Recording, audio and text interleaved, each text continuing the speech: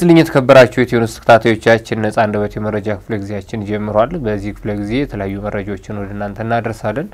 በለጠ ካሳና በላይ ማናየ እንዲሁም በቀረጻና ቅንብር በኩል መለስ አድማሴ መረጃዎችን እያደረስናችሁ እንቆያለን። እስከ ፍጻሜ አብራችሁን ሁኑ። በቀጥታ ወደ መረጃዎቻችን እናልፋለን። የዚህን ክፍለ ጊዜ መረጃዎችን እናቅርብ። በለጠ ምን አለ አዳዲስ ነገር? በቀጥታ መረጃዎችን ወደ ማቅረቡ እንለፍ። ጥሩ በላይ አመሰግናለሁ። እንግዲህ የተለያዩ መረጃዎች ናቸው ያሉኝ። ወደ ራያ ወልቃይት እና አካባቢው በርከት ያሉ መረጃዎች አሉ።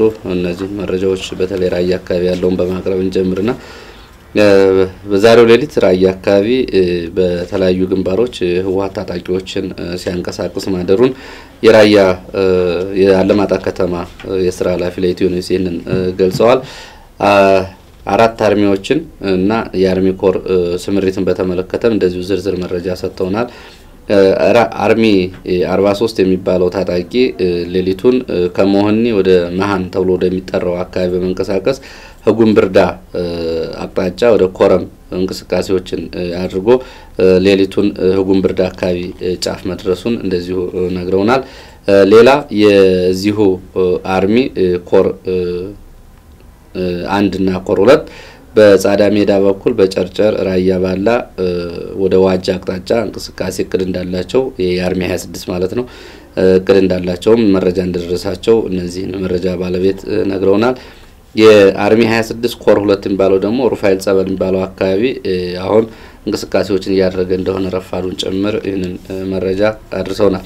በሌላ በኩል አርሚ 24 ተብሎ የሚጠራው አካባቢ ደግሞ ዋናውን መንገድ ይዞ በር ተክላይ ፊት ለፊት መስመር እንቅስቃሴዎች እንዳሉት ይህንንም ገልጸዋል እና በትላንትናው ዕለት በተለያዩ ተሽከርካሪዎች መሆኒ ከተማ ላይ ሞርተር የሞርተር ተተኳሽ ዲሽቃና ሌሎች የቡድን መሳሪያዎችን ሲያራግፉ ተመልክተናል ብለዋል። ይሄ የአካባቢው ባለስልጣን ይህንን መረጃ መሰረት በማድረግ እንግዲህ ያው ከሚመለከተው አካል ጋር መነጋገራቸውና ከሁለት ቀናት በፊት በዚህ እንቅስቃሴ ምክንያት የአካባቢው ሚሊሻዎችና ወጣቶችም እንደዚሁ ወደ ግንባር አድርገውት የነበረው እንቅስቃሴ መከላከያ ጣልቃ ገብቶ ማስቆሙን ገልጸው ከዛ በኋላ ግን አሁንም ዛሬ ሌሊቱ በተለይ ሌሊቱ ስድስት ሰዓት ድረስ ይህ እንቅስቃሴ መኖሩን ማረጋገጣቸውን ነው እየነገሩን።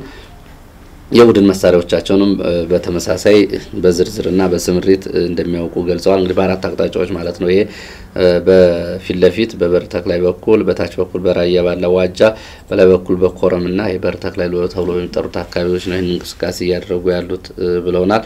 ይህንን በተመለከተ የአማራ ክልል አንድ የቢሮ ኃላፊን በስልክ አነጋግረን ነበረ። ስለ ጉዳዩ መረጃ እንዳላቸው ነግረውናል። ጉዳዩንም በሁለት መንገድ አንድም የሰላም ስምምነቱ መሰረት አድርጎ የመከላከያ የኃላፊነቱን እንዲወጣ እንደተነጋገሩ፣ ሌላው ደግሞ ንጹሐን ተመላሾች ከሆኑ በዚህ መንገድ ሳይሆን የተፈናቃዮችን በተመለከተ ግን ስምምነት መኖሩን በተለይ በሁለቱ አካባቢዎች ጠለምትና ራያ አካባቢ ተፈናቃዮች ከአሁን በፊት በተለያዩ ወንጀል የማይፈለጉ በአካባቢ ማህበረሰብ በመምጣት የተለየ ተጽዕኖ የማያደርጉ ሰዎች ከሆኑ ተፈናቃዮቹ መምጣት አለባቸው የሚለው ንግግር አለ። በዚህም ንግግር ዛሬ ለሁለተኛ ቀን የቀጠለ ውይይት እንዳለ ነው። እንግዲህ በትላንትናው ዕለት ጠቅላይ ሚኒስትር አብይ አህመድ፣ ምክትል ጠቅላይ ሚኒስትር ደመቀ መኮንን፣ ዶክተር ይልቃል ከፋለና ጌታቸው ረዳ የተገኙበት ውይይት እንደነበር ስናቀርብ ነበር። ዛሬ ሌሎች ባለ የስራ ኃላፊዎች የክልሉ የትግራይ ክልል ጌታቸው ረዳ ምናልባት ከሰላም ስምምነት አደራዳሪዎቹም ተደራዳሪዎቹም ሬድዋን ሁሴንን ጨምሮ ከአማራ ክልል ተወካዮች ያሉበት በዚህ ጉዳይ ዛሬም ለሁለተኛ ቀን የቀጠለ ስብሰባ እንዳለን የመረጃ ምንጩ እየገለጹልን፣ እንግዲህ ይህም ተፈናቃዮችን መመለስ በሚለው ነው። በዚህ ላይ የአማራ ክልል በእነዚህ በጠለምትና ራያ አካባቢ ተፈናቃዮችን ተፈናቃዮችን እንግዲህ ተፈናቃዮች በምን መስፈርት እንደሚለዩ ግልጽ አይደለም። ተፈናቃዮች መመለስ ይችላሉ የሚለውን ስምምነትና አፈጻጸሙ ነው የተለየ የሚያደርገው። ትጥቅ ይዘው የሚንቀሳቀሱ ካሉ እና እስከ ትጥቃቸው የሚያልፉ ካሉ መከላከያ ይቆጣጠራል። ተፈናቃዮች ግን ከአሁን በፊት የአካባቢው አስተዳደር የሚያረብሻቸው ከሆነ ይህን ማድረግ ይችላሉ የሚል ስምምነት ላይ መድረሱ ነው። የፖለቲካ አስተዳደሩንና የአካባቢውን የጸጥታ ጉዳይ በተመለከተ ግን ክልሉ ይሄን እንደሆነ አቋሙ ገልጿል። ዛሬም በሚቀጥለው ውይይት እንግዲህ የሚደረስባቸውን ውሳኔዎች አብረን ተከታትለን የምንመጣ ነው የሚሆነው። ይህንን በተመለከተ በጠለምት በኩልም ተመሳሳይ እንቅስቃሴ መኖሩን ነው ዛሬ መረጃ ምንጮቻችን የገለጹልን። አዎ በሰሜን ጎንደር የጠለምት እንግዲህ በተከዜ በዋናው ድልድይ በኩል ከ350 በላይ ታጣቂዎች ለመሻገር ሞክረው ነበር። ድልድዩ ላይ መከላከያ መልሷቸዋል ነው የሚሉት ከእንደ አባጉና የመጡት። ለምንድን ነው ተፈናቃይ ከሆናችሁ ተፈናቃይ ከሆናችሁ ያለ ትጥቅ መመለስ ትችላላችሁ፣ መሳሪያ ይዛችሁ ማለፍ አትችሉም በሚል እነሱ ደግሞ እስከ መሳሪያችን ካላለፍን ዋስትና የለንም በሚል በዚህ በተፈጠረ አለመግባባት ወደ ተመልሰው እንደገና ወደ ትግራይ ተመልሰዋል ተከዜን ሳይሻገሩ የሚል መረጃ አለ። በዚሁ ጠለምት አካባቢ ሌላ ተመሳሳይ መረጃ ምንድን ነው ዛሬ በፍየል ውሃ ተብሎ የሚጠራው አካባቢ ላይ ላሉ ታጣቂዎች ስንቅ የሚሆን ሁለት ተሽከርካሪዎች ከትግራይ አካባቢ እንደገና በማይጠብሪ ተሻግረው ወደ ተከዜ አቅጣጫ ሂደዋል። ይህንን መከላከያ የሚያውቃል። የአካባቢው ወጣቶችም ለመጠየቅ ሞክረው ነበረ። ተቃውሞ ማስነሳታቸው እንዲበተኑ ተደርገዋል። ይሄኛው ጉዳይ ምንድን ነው የሚለውን እስካሁን ግልጽ አልሆነም። ይህንን እየነገሩ እንግዲህ አካባቢው አስተዳዳሪ ናቸው። ይህንን ለሚመለከተው አካል አሳውቀናል ነው የሚሉት። ምንድን ነው ምላሽ አግኝተናል የሚሉት ከሚመለከተው አካል በሚቀጥሉት ቀናት ፌዴራል ፖሊስ በአካባቢው ስምሪት ይወስዳል አካባቢው ስምሪት ይወስዳል ተብለናል ነው የሚሉት። የፌዴራል ፖሊስ ስምሪት መውሰድን ከአሁን በፊት ህወሓቶቹ በተደጋጋሚ ይናገሩት ከነበረው ጉዳይ ጋር በተያያዘ ግን ስጋት ፈጥሮብናል። ፌዴራል ፖሊስ ቀድሞ ይገባል። ከዛ በኋላ የትግራይ ታጣቂዎች እና በተፈናቃይ ሰዎቹ ይመጣሉ። ፌዴራል ፖሊስ በአካባቢው ማህበረሰብና በእነሱ መካከል የሚኖረውን ዕለታዊ ዳኝነትና የወንጀል ክትትል ለማድረግ ነው የሚገባው። ይሄ ደግሞ ከአሁን በፊት ሲነግሩን የነበረው ነው። ስለዚህ አካባቢውን መልሶ ከማንነት ውጭ ለመስጠት የሚደረገው እንቅስቃሴ አካል እንደሆነ ጉዳዩ አሳስቦናል። እንግዲህ ይህንን በተመለከተ እስካሁን ድረስ ከታችኛው አስተዳደርና ማህበረሰቡ የተቃውሞ አቋም ነው ያለው። ይህንን ለሰሜን ጎንደር ዞንም ለአማራ ክልልም አሳውቀናል ብለዋል። ሌላ እዛው አካባቢ ጠለምት አካባቢ ማይተክሊት ተብሎ የሚጠራው አካባቢ ላይ የወርቅ ማዕድን ማውጫ አለ፣ በባህላዊ መንገድ ወርቅ የሚያወጡበት። ይህንን አካባቢ ሀጎስ የተባለ በቀድሞ የህወሓት አባል የነበረና የፖሊስ አዛዥ የነበረ ሰው የተወሰኑ ታጣቂዎችን ይዞ አካባቢውን ከተቆጣጠረው ቆይቷልና እዚህ አካባቢ እርስ በርስ ሀጎስ እና በሌሎቹ ደግሞ እንደዚሁ የታጣቂ ቡድኖች መካከል ከወርቅ ጋር በተያያዘ ግጭት አለ። ይሄ ግጭት ወደ አካባቢው ማህበረሰብ ሄዶ እዚህ አካባቢ በርካታ ሰዎች ተፈናቅለው ነበረ እና ወደዚህ አካባቢ የሰሜን ጎንደር የሰሜን ጎንደር አስተዳደር በተደጋጋሚ የጸጥታ ኃይል ቢያሰማራም እስካሁን ድረስ ውጤታማ ስራ መስራት አልተቻለም። ምናልባት አሁን ግን ይሄ የአካባቢው ማህበረሰብ መፈናቀሉ ከዚህ ጋር የተያያዘ ጫና እያመጣ ስለሆነ በተሻለ ኦፕሬሽን አካባቢውን ለማጽዳት ሙከራ ይደረጋል። ሁለት ዓላማ ነው ያለው ይሄ እንቅስቃሴ። አንድም አካባቢው ላይ ያለውን የወርቅ ማዕድንና ባህላዊ ወርቅ አውጪዎችን አውጥተው ሲጨርሱ ይገድላሉ፣ ይዘርፋሉ። ሌላም አካባቢ ማህበረሰብ ያፈናቅላሉ። እንደገና ደግሞ የህወሓት ታጣቂዎች ወደ አካባቢው እንዲገቡ ደግሞ ሁኔታዎችን በማመቻቸት በኩል አስተዋጽኦ ያለው እንደሆነ ነው የገለጹት።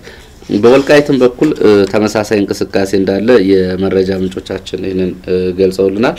በደደቢት እና ሽራሮ አቅጣጫዎች ዛሬ ሌሊቱን እና ረፋዱን በርካታ ተሽከርካሪዎች ታጣቂዎችን የጫኑ ተሽከርካሪዎች ወደ ጸሊሞይ አቅጣጫ እንግዲህ ወደ ወልቃይት በደጋው በኩል መሆኑ ነው። ወደ ወልቃይት ስኳር ፋብሪካ መውረጃ በኩል ይህንን እንቅስቃሴ እያደረጉ ሀያ ተሽከርካሪ ታጣቂ የጫኑና አራት ተሽከርካሪዎች ደግሞ እንደዚሁ የስንቅና ትጥቅ የጫኑ ተሽከርካሪዎችን እንቅስቃሴ ይህንን ተመልክተናል ብሏል። ይህንን በተመለከተ የወልቃይት ወረዳ አስተዳዳሪ ጉዳዩን ጠይቀናቸው ነበረ።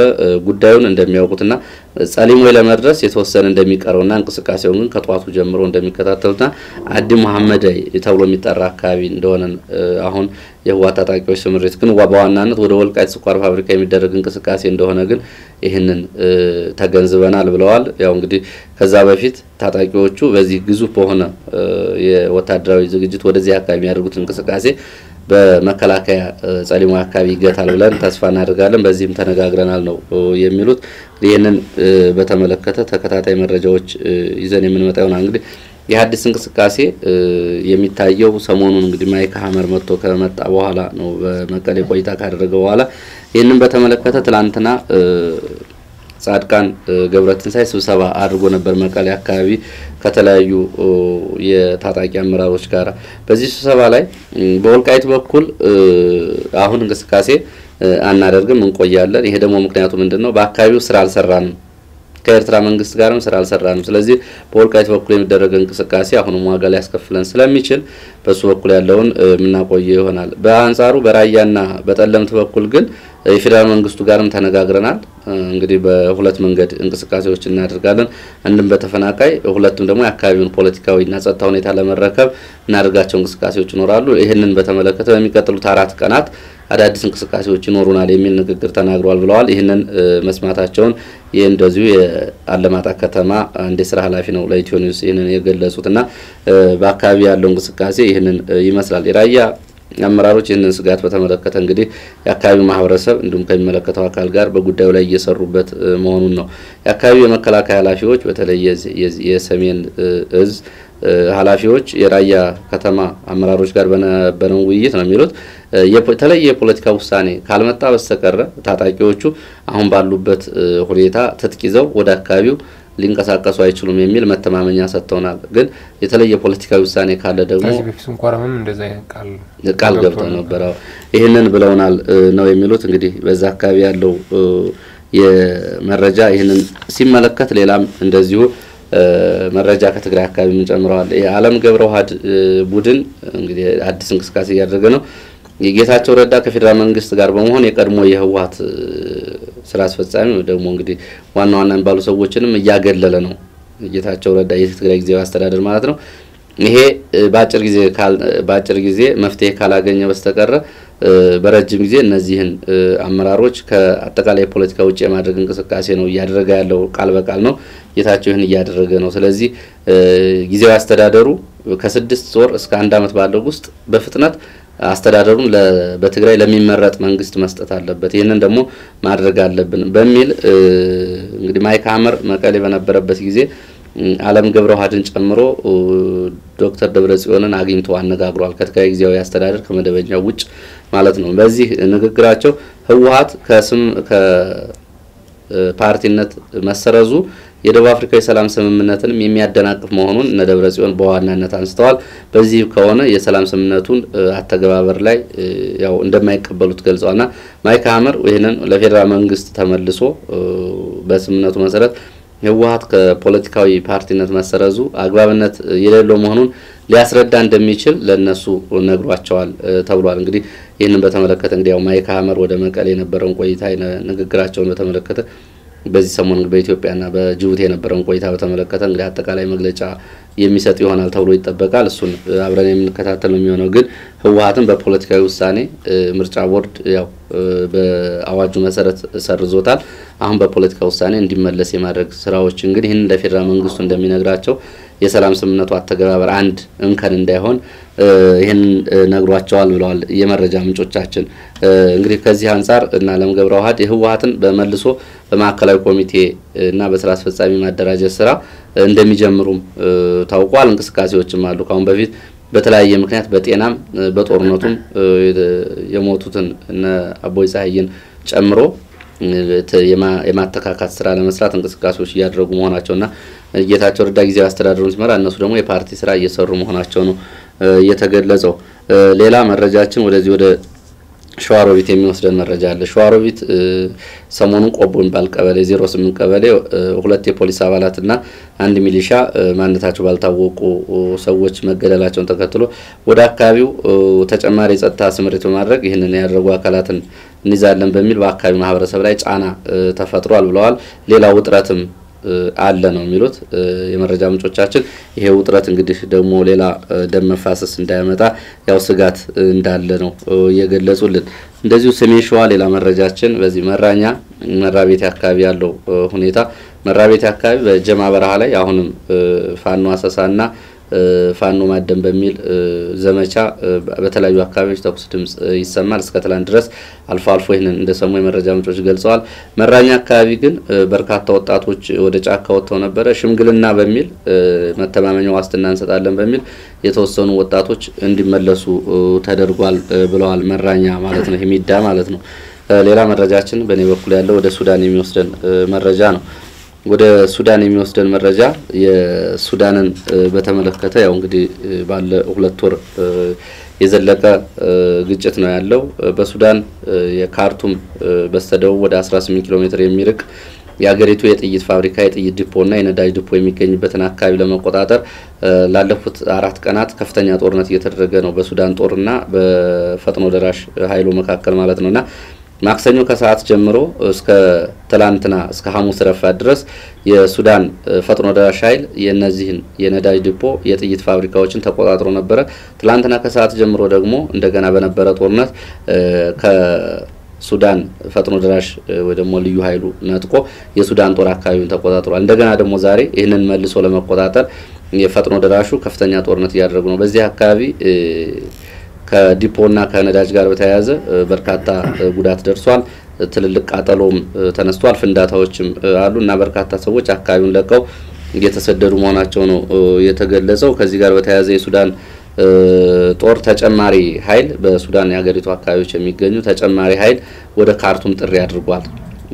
በተለይ በፖርት ሱዳን አካባቢ ከሚገኘው ጦር ውስጥ በርካታ ጦር ወደ ካርቱም መጥቶ እንዲያግዘውም ጥሪ ማድረጉን ነው እየሰማ ነው። እንግዲህ ሱዳን አንጻር ከሱዳን ወደ ኢትዮጵያ እስካሁን ድረስ ከአርባ ሁለት ሺህ በላይ ተፈናቃዮች ገብተዋል ተብሏል። ከዚህ ውስጥ በርካቶቹ ኢትዮጵያውያን ናቸው።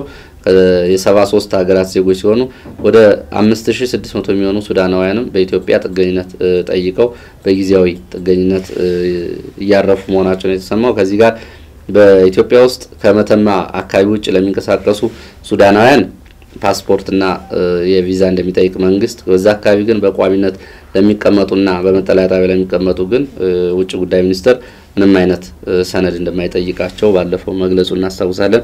በእኔ በኩል ያሉ መረጃዎች እነዚህ ናቸው። አመሰግናለሁ በለጠ።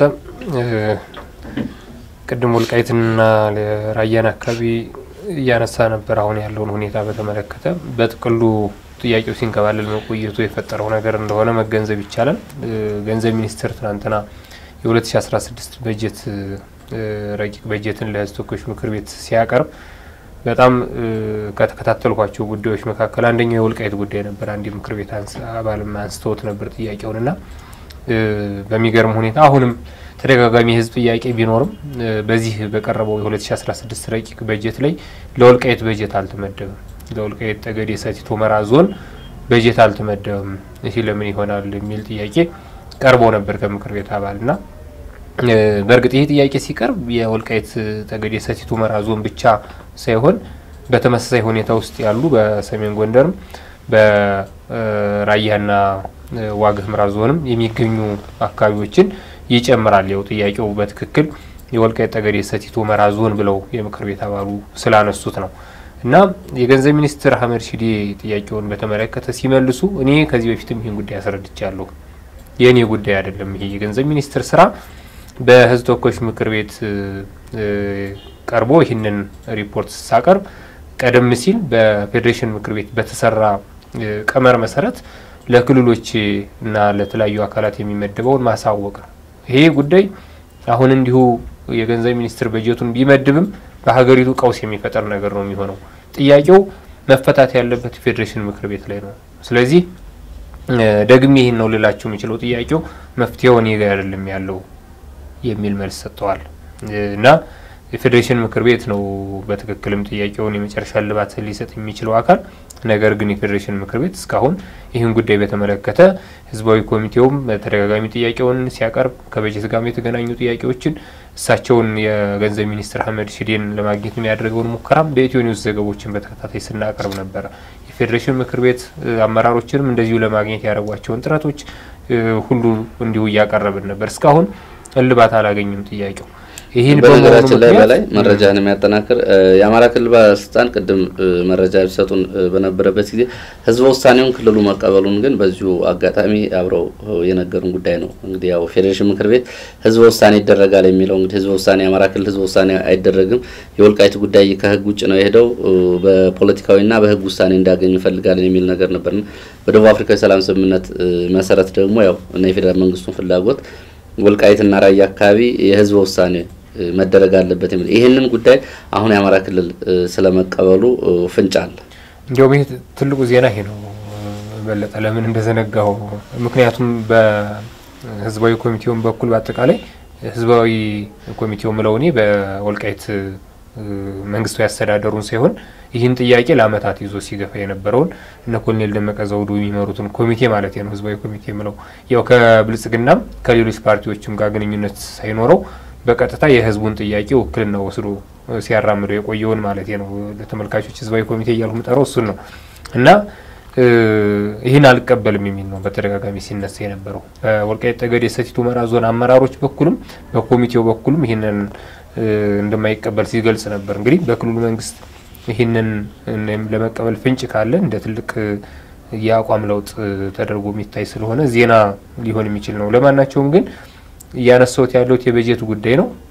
በዚህ ምክንያት በአማራ ክልል የተለያዩ አካባቢዎች ያሉ ወረዳዎች በጀት ይቀነስባቸዋል።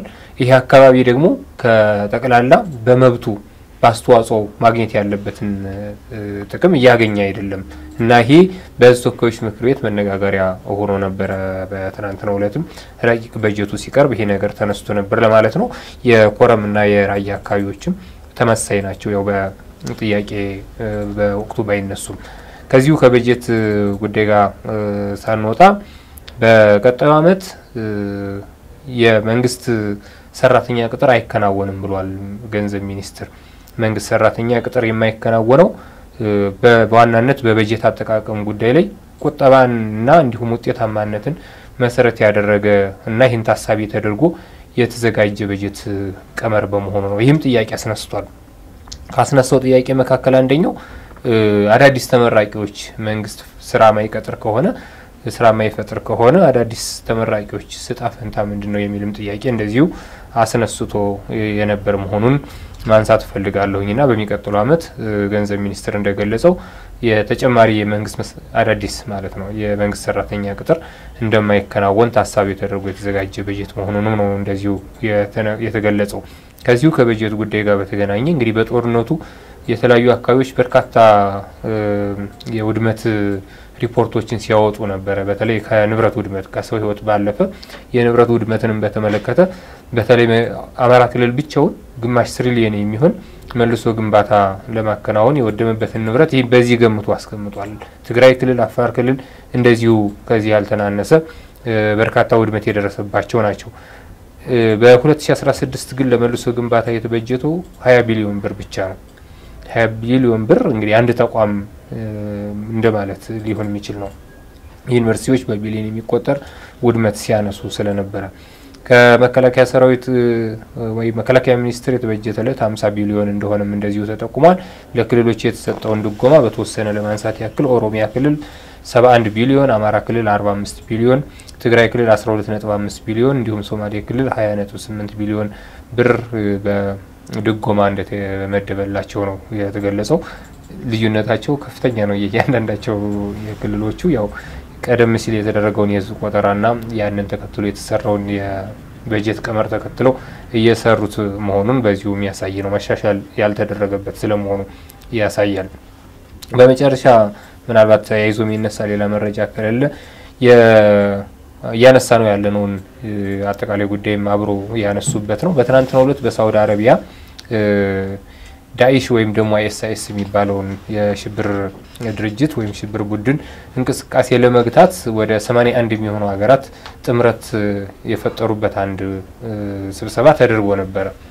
ከዚህ በፊት የነበረ ጥምረት ነው እና በዛ ስብሰባ ላይ በጎንዮሽ የሳውዲ አረቢያ ሪያድ ላይ ማለት ነው የኢትዮጵያ ውጭ ጉዳይ ሚኒስትር ደመቀ መኮንንና የአሜሪካ የውጭ ጉዳይ ሚኒስትር አንቶኒ ብሊንከን ተገናኝተው ተነጋግረዋል። ከተነጋገሩባቸው ጉዳዮች መካከል ሶስት አንኳር ነጥቦች ይገኛሉ። አንደኛው በትናንትናው እኛም እያነሳነው ነበር፣ ዋሽንግተን ፖስትን ዋቢ አድርገን በኢትዮጵያ የመንግስት ባለስልጣናትም ተሳትፎ ያደረጉበት ወይም እጃቸው ያለበት የእርዳታ እህል ዝርፊያ መከናወኑን በተመለከተ ይህንን በተመለከተ በአሜሪካ መንግስትም በኢትዮጵያ መንግስትም በኩል ተጨማሪ ማጣራት በማድረግ ተጠያቂነትን ለማስፈን ቁርጠኛ መሆናቸውን የገለጹበት ነው።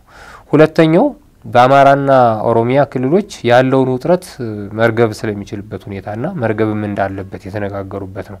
ይህ እንግዲህ አሁን ኦሮሚያ ክልል ያው የቆየ ሊሆን ይችላል። አማራ ክልል አሁን እንደ አዲስ ሕግ ማስከበር በሚል ያለውን ውጥረት የምናውቀው ነው። ተመልካቾች እንዲይዙ የሚፈልገው ገለጻው በኦሮሚያና በአማራ ክልሎች መካከል አይደለም የሚለው በአማራና በኦሮሚያ ክልሎች ያለው የየውስጥ ያለውን ክልሉ ውስጥ ክልሎች ውስጥ እያንዳንዳቸው ያለውን ውጥረት መፍታት ያስፈልጋል ነው።